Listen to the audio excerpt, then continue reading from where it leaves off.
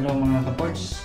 So pupunta tayo ng restaurant. So gaya kasi yung Koreano na kumakain kakain daw kami sa labas.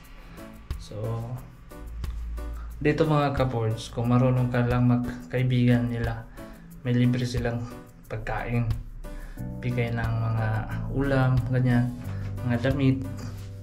Ito yung damit ko sinusuot, binigay niya. So, minsan lang to maglilibre so tara let's go ibaba natin doon so So ito po mga kaport sa mga factory sa South Korea. So factory worker tayo dito sa South Korea, hindi ano E9 visa. So kung, kung sino pumunta dito, pwede kayo pumunta dito. Government to government. Eskwela lang kayo. Mag-aral kayo ng Korean language. So dito lahat, factory to lahat sa Gimi. Number one sa Gimi ang factory worker. So marami. So nandito tayo sa Sundi restaurant. So restaurant po dito pangit tingnan sa likod, sa labas, pero sa loob maganda. So, tara, titingnan natin kung ano ang maganda sa loob. So, smile yan din, Ports. Nagugutom na, hindi nakasmile si Kaports, no? Sorry na mga Kaports. So, pasok tayo mga Kaports. Dapat iiwanan natin yung sinilas dito. Stricto sila. So, lagay lang dyan properly sa inyong sinilas. Paglagay, wow, ang ganda, di ba? So, ito pala pangit sa labas, pero maganda sa loob, no? So dito po pwede kayo maupo. Yung kasama ko ito, student ko to. Student Korean. So tinuturuan ko yung mga nakaraan na nag-aaksol. So dito na tawa-tawa lang kami guys. Naghihintay while talking, waiting for the food. So ito po yung mga reports. Tagay-tagay muna. So di yan tagay.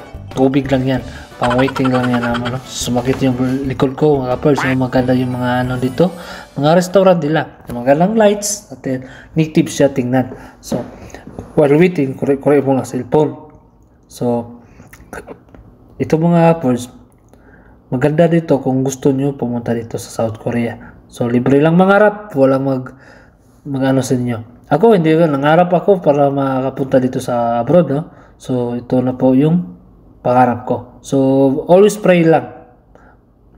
And always minded na up na maabot ka dito sa South Korea. Nandito na po yung delivery nila, no? So, ito, yun na yung mga kimchi, maraming makakain dito.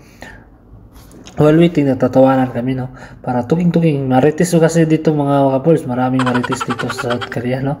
So, dito mga kapols, magagandang tanawin at saka magagandang restaurant. So, pangit sa labas pero maganda sa loob. So, waiting for the food, and talking uh, marites. Uh, mga marites sa may, may, naalala ba? Hindi, mga mga marites. Tagsa lang, minsan, oh, nandito na yung foods namin mga kapols, no? So, i-up ko na yung GoPro ko. So, GoPro talaga. Hey! Dandagwin mo kapag. So, ito na po yung mga pagkain. Dahon-dahon lang yan, pero sa mga dahon dito, mahaba ang buhay mo. So, mga mushroom, sundae. Yung sundae parang ano yun eh, sa loob ng chan ng baboy. So, tinai. Chai pala. So, yan. So, busy yung kasama ko ng picture-picture kasi maganda daw. So, yan. First time kami dito. So, tingin-tingin, no. Kutsara nila, malaki. Hmm, kukunin ko yan. A- akin yung kutsara yan. No, number one yun sa mga kutsara. So, kain-kain na tayo. So, ikaling-galang muna para mainit ang sabaw. So, ganyan ang mga kapos. Kikingin, mga sibos Bombay dan dyan. O, ganyan, bawang, kakainin mo na dyan. So, pampasustansya sa katawan, matahaba ang buhay. So, dito mga kapors, magaganda.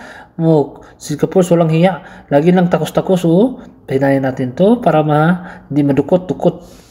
So, yung dukot pala nila mga kapors dito, Nurichi. Nurichi. No, Nura, Nuruchi. Ah, Nuruchi. So, dito na po yung last namin na pagkain. So, last nila ang rice. Maganda kasi rice yung last. So, sabi ko ni Kuya, ako na kasi mahirapan ka sa kalisod, no? So ako na muna kasi nagugutom din ako. No? Binigyan ng kimchi, masarap din ang kimchi bago sila naggawa. So walang problema sa kimchi dito. Libre lang 'yan. Walang problema 'yan. Bigay ng bigay na sila diyan. Basta babayad ka lang. So, yan lang ang mga problema. So dito mga boss, kahit anong kakainin mo, makabayad ka kasi yung sahod nila malaki tapos malaki din babayarin mo sa restaurant no? Dito po yung mga pagkain namin no?